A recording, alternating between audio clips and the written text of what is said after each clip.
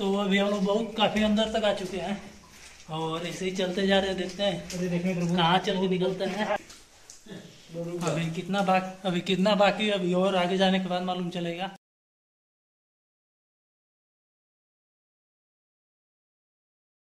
Hey guys good morning welcome to my new blog UP Ballia से हम लोग जा रहे थे आसाम दुलियाजन के लिए। तो अभी हम लोग गुवाहाटी होटल में रुके हुए हैं। गुवाहाटी पहुँचने वाले थे तो अचानक प्लान बन गया शिलोंग घूमने के लिए। तो गुवाहाटी से शिलोंग का डिस्टेंस सौ किलोमीटर ही है। वैसे भी आज विश्वकर्मा पूजा है तो पापा और विकास गए हैं। होटल के बगल में ही गाड़ी धुला रही है। वहीं पे गए हैं लोग गाड़ी धुलाने के लिए। तो जब वो लोग धुलवा के आ जाएँगे तो गाड़ी की पूजा करके निकलेंगे हम लोग।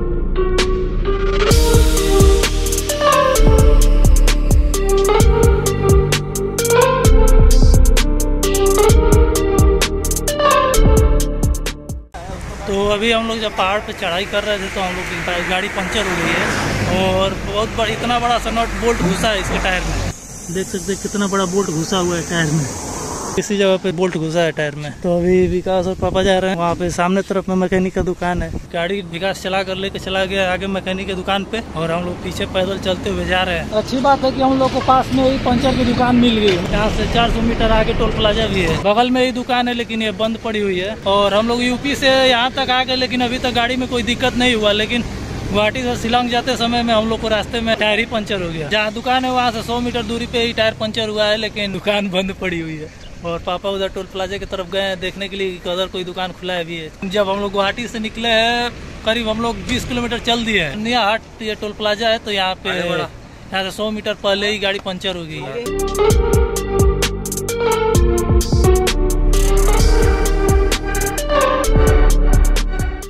हम लोग ने टायर चेंज कर दिया और अब यहाँ से निकल गए हैं हम लोग आगे के लिए। अगर आगे कहीं दुकान दिखेगा तो अगर कोई पंचर की दुकान दिखेगा तो वहाँ पे दे देंगे रिपेयर के लिए उसको। दुकान तो बहुत सारा है इधर पास में, लेकिन एक भी दुकान अभी खुला नहीं है। अभी हम लोग आसाम और मेघालय के बॉर्डर पे खड़े हैं। यहाँ पे अगर आप कोई दूसरे स्टेट से आ रहे हैं तो आपको मेघालय और आसाम बॉर्डर पे चेक पोस्ट है। यहाँ पे आपको एंट्री कराना पड़ेगा और आने के साथ साथ आप कोविड रिपोर्ट भी लेते आइएगा अपने साथ। वो भी यहाँ पे दिखाना पड़ेगा और आपको। दोनों वैक्सीन लग चुका है। तभी आपको यहाँ से आगे जाने दिया जाएगा, नहीं तो आपको यहाँ से रिटर्न कर दिया जाएगा।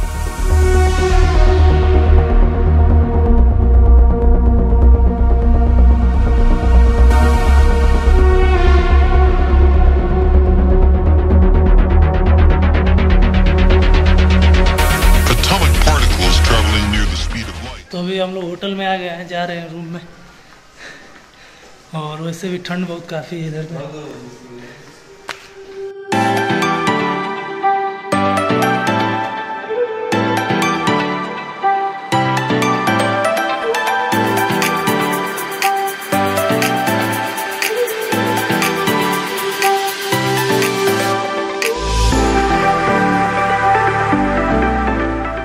तो गाइस हम लोग होटल पहुँच गए हैं और होटल हम लोग छः बजे करीब पहुँचे हैं। इससे भी हम लोग गुवाहाटी से ग्यारह बजे करीब निकले थे तो 10-15 किलोमीटर चलने के बाद टायर भी पंचर हो गया था। जब हम लोग मेघालय और असम के बॉर्डर पे पहुँचे तो वहाँ कोविड के चलते वहाँ पे पास बनाना पड़ा था। वहाँ पे पास बनाने के लिए हम लोग को ज़्यादा समय लग गया था। दो घंटे करीब वहाँ में लग गए थे हम लोग को। और वहाँ से जब निकले तो पाँच छः किलोमीटर चलने के बाद एक पंचर की दुकान मिली तो गाड़ी का पंचर बना तो ज़्यादा समय इधर ही लग, उधर ही में लग गया तो हम लोग को होटल पहुँचने में थोड़ा अंधेरा जैसा हो गया है। तो हम लोग डायरेक्ट होटल ही आ गए हैं। कहीं घूमने भी नहीं जा पाए हम लोग। सुबह निकलेंगे कहीं घूमने के लिए। तो अभी हम और पापा राकेश निकल चुके हैं शिलोंग शहर के गलियों में। तो अभी टहलते टहलते जा रहे हैं पुलिस बाज़ार की तरफ़ में। और अभी तो इधर में और अभी तो इधर में सारा सब दुकानें बंद हो चुकी हैं अभी। सात बजने वाला है, यहाँ में सात बजे करीब में सारा दुकानें बंद हो जाती हैं सब। ये शिलोंग शहर की गली है, बहुत दुकान बंद हो चुकी हैं। कुछ कुछ दुकानें खुली हुई हैं सब। तो अभी हम लोग पुलिस बाज़ार के चौराहे पे खड़े हुए हैं, हमारे पीछे। हम लोग के पीछे पुलिस पुलिस बाज़ार का चौराहा है।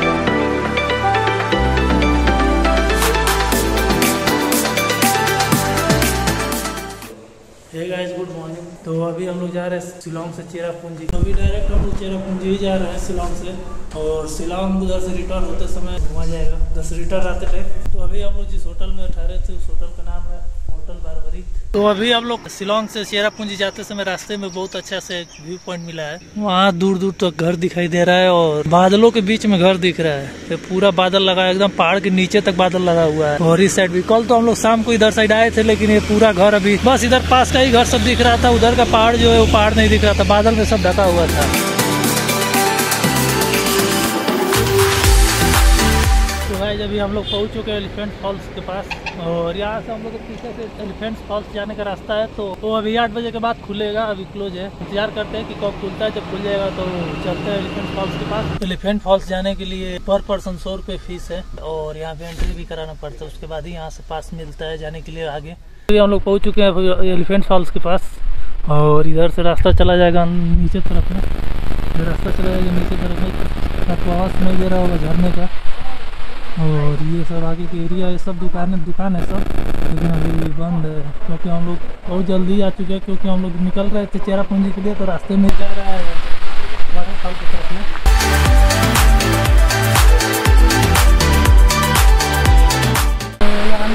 है कि फ़र्स्ट है सेकेंड और थर्ड है।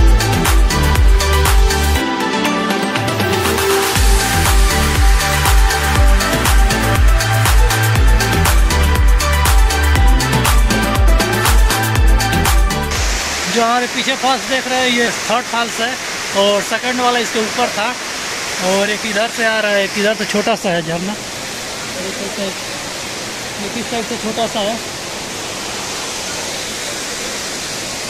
आप लोग को मेरा आइडिया थोड़ा स्लो आ रहा होगा, क्योंकि बहुत, यहाँ पे बहुत नॉइज़ है।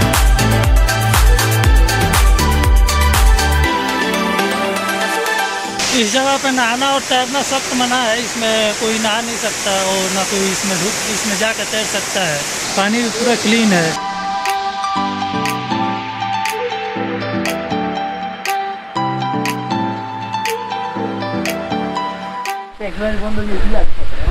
यहाँ पे 2016 में मोदी जी भी आए थे। तो अब यहाँ से सीधा डायरेक्ट हम लोग चेरापूंजी के लिए निकलेंगे।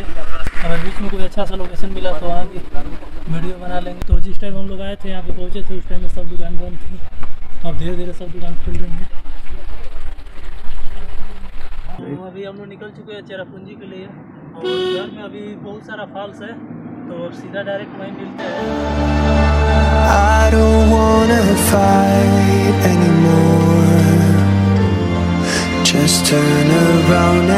तो अभी हम लोग रुके हुए हैं पहाड़ों के बीच में दोनों तरफ़ पहाड़ है बीच में रास्ता है। और इधर से रास्ता में और पौधा इधर का पेड़ ऐसा है जैसे कि हिमालय पे जैसा पौधा पेड़ रहता है, वैसे ही पेड़ है। और ये देख सकते हैं बादलों के बीच में है हम लोग। बादल ऊपर से हल्का हल्का वो बादल की बौछारें आ रही हैं। ये बारिश नहीं है, सब बादल का फुहारा है। ऊपर तरफ़ पूरा बादल ही बादल है। पहाड़ों के अंदर तक बादल घुसा हुआ है। और इस साइड में एक छोटा सा झरना है। बादल तो ऐसे गिर रहा है जैसे कि बारिश हो रही बारिश का बौछार हो रहा है। और पूरा इधर रास्ता भीग चुका है। उस साइड देख सकते हैं, हल्का हल्का बादल जैसा लगा हुआ है। और इस साइड भी हल्का हल्का बादल जैसा लगा हुआ है। इधर में एक चीज़ नोटिस किए है कि यदि इधर में जितनी भी गाड़ियाँ हैं, उन सबका मोटा मोटा एलोविल है और टायर है। और यहाँ पे सबसे ज़्यादा मारुति एट हंड्रेड और ऑल्टो कार है। सबसे ज़्यादा वही कार ही दिख रही है। ये इधर का मूली है और उधर में भुट्टा भूज रहे हैं लोग। इधर साइड देख सकते हैं, इधर रोप क्लाइंबिंग भी होता है, इधर रोप लगा हुआ है। और पूरा बादल लगने की वजह से पूरा बादल ही बादल है चारों तरफ़ में, और उधर भी रोप क्लाइंबिंग का दिया हुआ है, लेकिन वो अच्छे से दिख नहीं रहा है, वो हल्का हल्का दिख रहा है। और इधर साइड में काफ़ी ठंड भी है, जो ठंड हम लोग के साइड में नवंबर में पड़ता है, वो ठंड इधर अभी पड़ रहा है। काफ़ी ठंड लग रही है। इधर के लोग जिसको देखो, इधर के लोकल लोग तो स्वेटर पहन कर ही रह रहे हैं। ऊपर साइड में इतना ठंड है कि क्लास में फोग जम चुका है। अगर आप लोग भी बादल छूना चाहते हैं तो वीडियो को लाइक और शेयर कीजिए और चैनल को सब्सक्राइब कीजिए। तो हम जान जाएँगे कि आप लोग भी बादल को छू लिए। जैसे हम लोग छू लिए, देखिए एकदम पूरा हाथ पानी पानी हो गया है। तो अभी हम लोग ने समुद्र तल से इतना ऊपर आ गया है कि कान में प्रेशर बनना शुरू हो गया है और ऐसा लग रहा है कि कान में ची जैसा आवाज़ आ रहा है। तो अभी हम लोग ने होटल पहुँच गया है और होटल होटल भी बुक कर लिया है। दो बेड है और साइड में सोफा लगा हुआ है। होटल के बालकनी से बहुत मस्त एक नज़ारा दिखता है तो चलिए आप लोग को दिखाते हैं हम।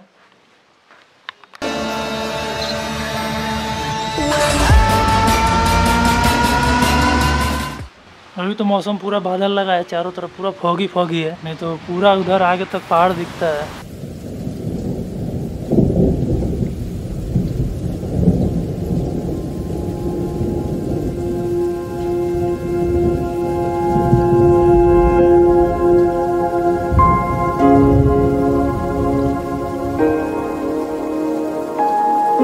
लोग सामान सब होटल में सब सामान रख के हम निकलते हैं, कहीं दूसरे जगह कहीं चलते हैं।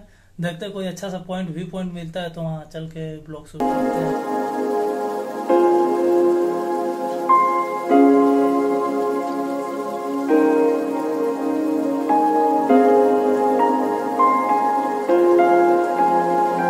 तो अभी हम लोग मौसमाई केव पे पहुँच चुके हैं और चल के अंदर देखते हैं कि कैसा क्या सीन है।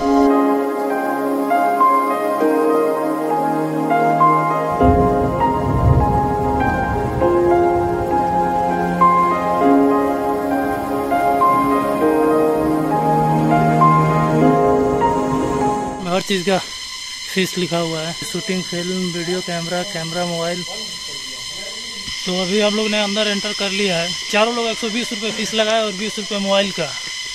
तो अभी हम लोग जा रहे हैं अंदर। तो अंदर में शायद कोई गुफा है।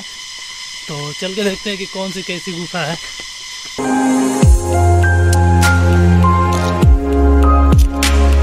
तो अभी हम लोग गुफे के पास में है। यहाँ से अगर हम लोग आगे बढ़ेंगे तो गुफा के अंदर चले जाएँगे। सीढ़ी चलते सीढ़ी चढ़ते चढ़ते हाफने लगे।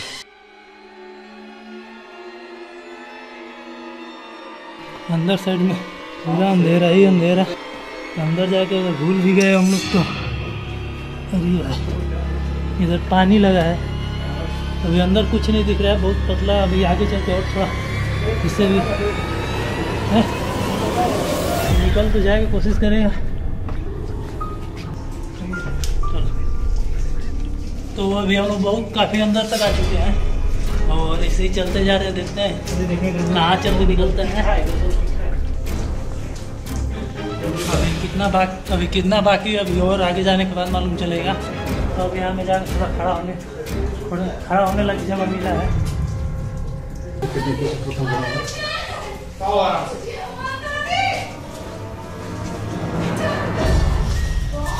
बहुत बड़ा गुफा है अंदर में। तो ढीला भी है देखना राकेश यहाँ में। प्रकृति का बनाया हुआ पत्थर है उसको मतलब बनाया किस तरह से क्या मज़ा आ रहा है अभी हम लोग के आगे और लोग और कुछ लोग भी जा रहे हैं।